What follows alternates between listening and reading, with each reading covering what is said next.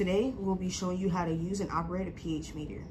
A pH meter is an electronic device used to measure the hydrogen ion activity in a solution, resulting in a number that is more acidic or more basic, with 7 being neutral.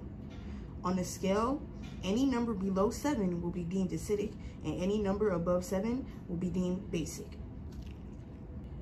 For the second demonstration, we will be using pre-made pH buffers today.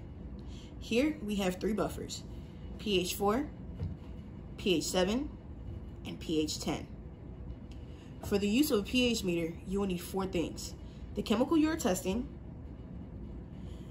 the pH meter, a beaker large enough to fit the chemical, and a secondary beaker for DI water. The pH meter that we'll be using today is a desktop pH meter with a probe.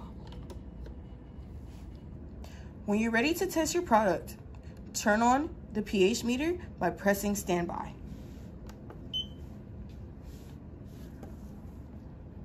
Remove the probe from the pH container with the KCl solution.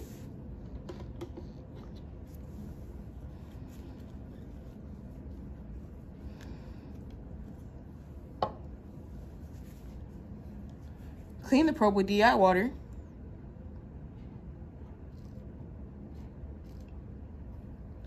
Dry the probe softly by tapping it on top of paper towel.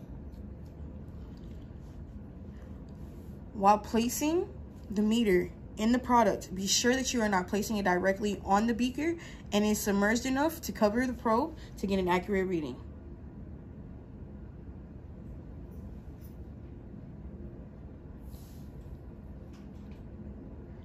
Once placed in the beaker, wait for the meter to be stabilized, then record your reading. To clean the pH meter between each reading, use DI water.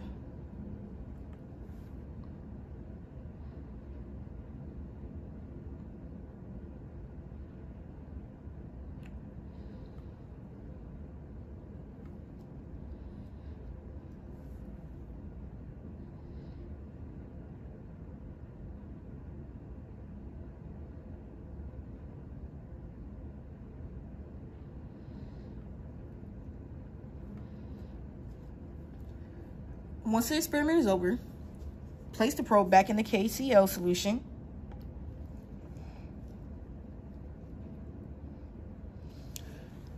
Place it on the stance. Press standby to turn off the meter and return everything back to the stockroom.